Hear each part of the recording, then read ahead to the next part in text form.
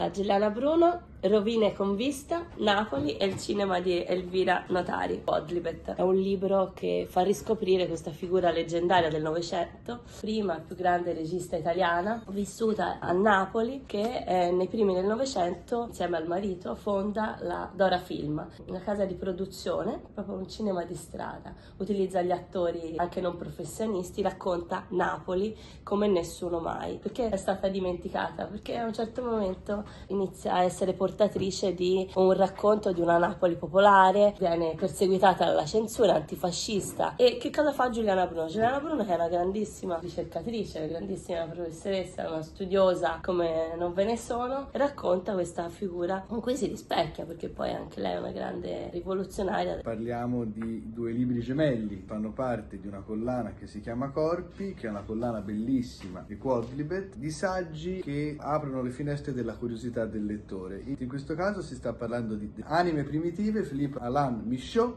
figure di celluloide, di peluche e di carte. Le anime primitive sono le anime separate, come lo sono le figure, perché una figura appaia bisogna che un corpo scompaia. La figurabilità non è altro che il racconto di una separazione. È per questo che la questione della rappresentazione è così connessa al lutto e a sua volta il lutto ci rimanda sempre all'enigma della rappresentazione. Unito poi all'indice di questo libro si capisce di che cosa si parla. Sullo schermo simulacri, la commedia di distruzione, uomini ragno, peluche psicopompi, Crazy Caccina, il coniglio Oswald, macchina desiderante, Dreamland, Pavor Nocturnus, i figli della notte, fantasmagoria, tanatografia, a volte ritornano. È ragazzi un viaggio spettacolare. Puoi dire questo qua in napoletano?